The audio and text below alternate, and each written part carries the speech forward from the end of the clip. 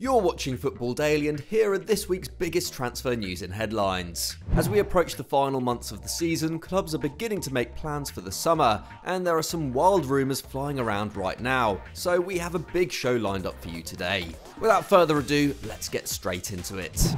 We begin at Arsenal as talk about the future of right back Hector Bellerin is making the back pages once again. Long linked with a move away from the Emirates, the Barcelona born right back has previously been touted for a return to Catalonia. But in 2020, it appeared he was set to switch London for Paris, with PSG reportedly seeing a £30 million bid rejected by the Gunners last summer, when Bellerin was apparently keen to move. And now, according to CBS, the French champions are ready to renew their interest in the 25 year old, who by this summer will be one year closer to finishing his contract, which expires in 2023. This means that Arsenal will likely demand a lower fee for the former La Masia pupil, who will have been at the club for 10 years this summer, making a move to the City of Love a bigger possibility. Once one of Europe's most sought after young fullbacks, inconsistent form and recurrent injuries have seen Bellerin's star fade somewhat in recent years. But he remains an important player at Arsenal, playing more league minutes this term than any outfield player at the Emirates. As for his replacement, reports suggest that the club has already earmarked a couple of potential signings. First is Brighton youngster Tariq Lamptey, who only joined the club from Chelsea little over a year ago. One of the Premier League's breakout stars in 2020, Lamptey has been hampered by a hamstring injury since December, but has already attracted interest from a number of top clubs including Bayern Munich. Norwich City's Max Aarons, who was a target for both Bayern and Barcelona last summer, is another option for the Gunners. The 21 year old is having another impressive season at Carrow Road as the Canaries bid to get back to the top flight at the first attempt, although his £35 million price tag could be a turn-off for any potential suitors. But who would be your ideal Bellerin replacement? Let us know in the comments below. Over to West Ham, whose loan capture of Jesse Lingard in January has proved a masterstroke in their bid for European football. The Hammers currently sit in fourth, five points ahead of champions Liverpool and just four off Man United in second. And Lingard has enjoyed an excellent start to life in East London, hitting three goals in his first four league appearances, including winners in crucial games against Aston Villa and Tottenham. So it's no surprise the club wants to keep the Englishman beyond the end of the season when his loan deal expires, but it won't be simple. This week, the Times confirmed that Man United refused to include a clause which would allow the club to automatically buy Lingard for a set price at the end of the campaign, meaning that if they do want to keep him, they will need to negotiate with the club again in the summer.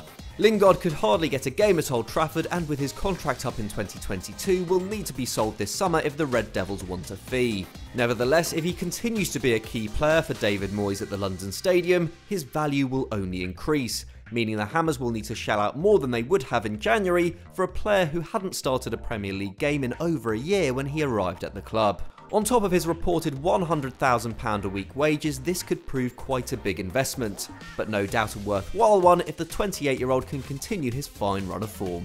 With Barcelona's presidential election less than two weeks away, anticipation is building around the three candidates hoping to win. And this week, one of them has made a big claim as to how the club will navigate the transfer market if he's elected. Toni Freixa, who goes up against Joan Laporta and Victor Font in this year's election, told Catalan radio station RAC that he has struck a deal with an investor who will contribute 250 million euros to the club, which will largely be used for a spending spree this summer. How this would be done alongside clearing the club's huge debts and managing the messy situation remains to be seen, but Freixa revealed that his presidency would see the Blaugrana sign three superstars, two in attack and one in defence, and added that it would be impossible for Barca manager Ronald Koeman not to like them, as they are unique players. This has of course led to speculation that the two attacking players are Kylian Mbappe and Erling Braut Haaland, and while Freixa refused to name any names, he suggested it would be possible to sign the pair. This seems a pretty far-fetched idea given the club's current situation, and it must also be noted that Freixa is considered very much an outsider in the presidential race, having worked under the deeply unpopular Josep Bartomeu regime. A more realistic target for the club, however, could be Real Sociedad sensation Alexander Isak, who is in the form of his life right now, having hit 9 goals in his last 6 La Liga appearances. And according to ESPN, the club are ready to step up their interest in the Swedish international, whose contract at La Real doesn't expire until 2024 and contains a 70 million euro release clause. What's more, former club Borussia Dortmund have a buyback option worth 30 million euros, which they could exercise if they decide to cash in on Haaland.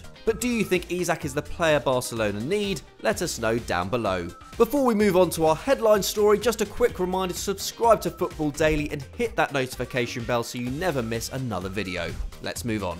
With six losses in his last eight games in all competitions, it's fair to say that pressure is mounting on Tottenham manager Jose Mourinho. And this week, a report has emerged suggesting that the club already has a replacement lined up should the Portuguese coach be relieved of his duties in North London. According to Matt Law at The Telegraph, Mourinho faces a crucial 12 days which could help to determine whether or not he is in charge of Spurs next season, which includes games against Burnley, Fulham, and Crystal Palace. Even if he can deliver the Carabao Cup in April, which would be the club's first trophy since 2008, the former Chelsea boss may still lose his job if Spurs finish mid table and don't make significant progress in the Europa League. And while he still has Daniel Levy's backing for the time being, the club's number one choice to replace him is understood to be RB Leipzig coach Julian Nagelsmann. The young tactician has become one of Europe's most coveted managerial talents in the last two years, and especially after leading Leipzig to the Champions League semi-finals in 2020, a run which included a comprehensive defeat of Mourinho's Spurs. However, while it's been reported that Nagelsmann may be open to a move to the Premier League at the end of the season, he also has long harboured ambitions of managing Bayern Munich,